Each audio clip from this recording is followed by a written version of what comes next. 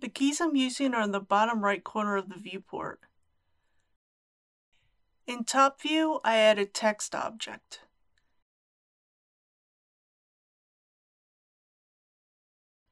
In edit mode, I change the text alignment to center so the text will be in the center of the world. I also change the font to something round. I'll use Fredoka 1 from Google Fonts. The link is in the description. I can then change the text.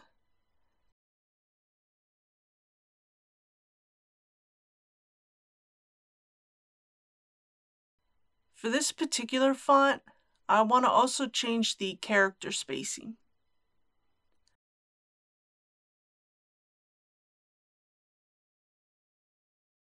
Under the geometry panel, I'll extrude the geometry.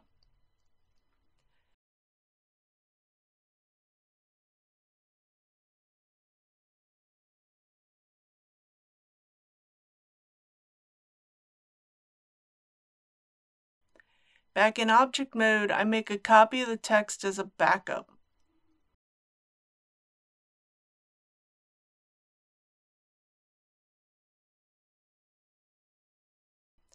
I select the original text and convert it to a mesh.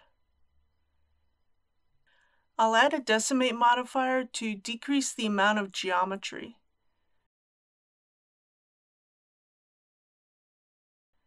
I'll use the planar option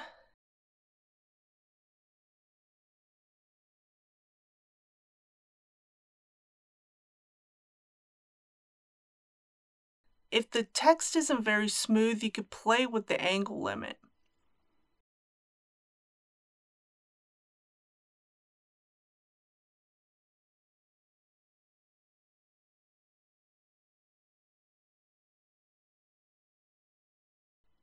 After I apply the decimate modifier, I'll add a remesh modifier so I can make sure I have enough geometry for the cloth physics.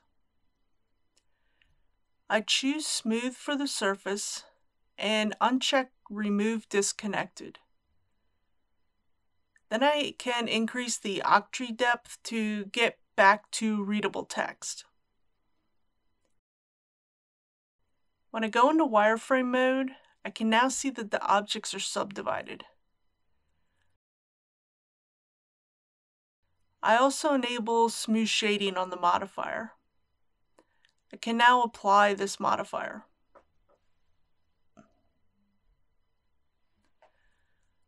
I select the text and add a cloth modifier. I activate the pressure option. With custom value activated, I change the pressure and the target value.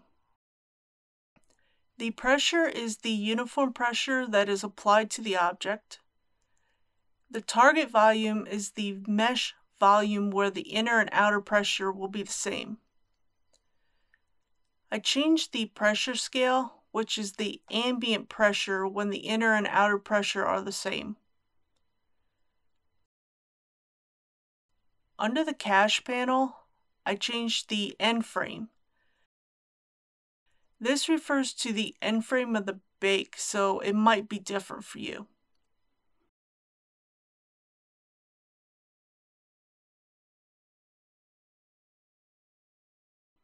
I then choose Bake.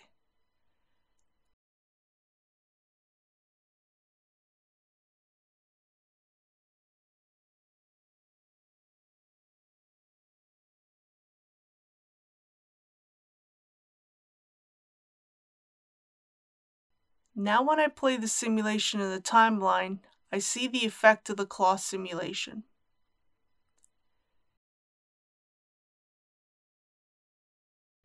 If you want to make changes to the simulation, under the cache panel, delete the bake you just performed and add a new cache.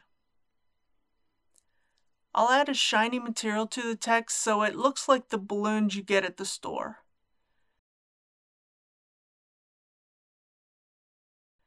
I'll give this an orange base color since this is Blender.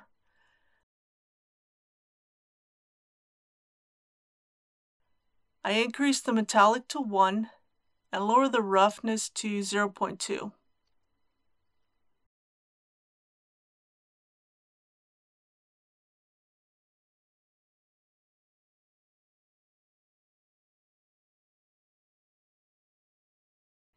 To bend the text, I add a simple deform modifier.